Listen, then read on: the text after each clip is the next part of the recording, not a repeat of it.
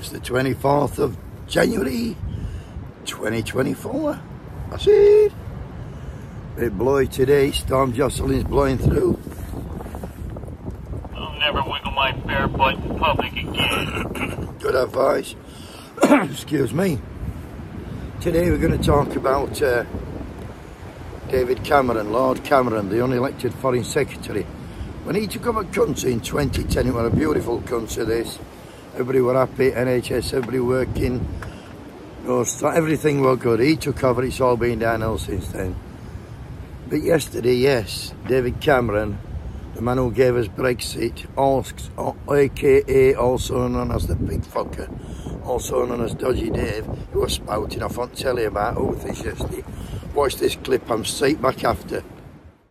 What the Houthis are doing is unacceptable, it's illegal, and it's threatening the freedom of navigation. That's why we've taken the action. Alongside that action is a whole set of measures we'll be taking, including sanctions and other pressure to put on the Houthis, combined, of course, with the action the Royal Navy is taking with others in the Red Sea. And we'll be building the strongest coalition of support to back the steps that we've been taking. What I forgot to mention is that the Houthis have to take international shipping, only boats supporting Israel. They had to take British ships either, just British ships were near the ships that were being attacked. I can say what the Houthis are doing is unacceptable. When hundreds of people, men, women, children and babies are being killed daily by the Israelis, is that acceptable?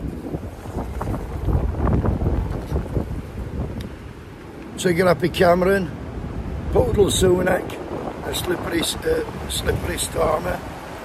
The UK is in the biggest mess in all my fucking 60 years, 60 plus years. Most of it caused by the Tories. But the entire House of Commons is useless, 650 confidence sixters. Overnight, Simon Clarke, Middlesex South, has called for Sunak to go. We need them all to go. The sooner the fucking better. Wakey wakey, stay safe, keep out of this fucking wind. It's going fucking mad.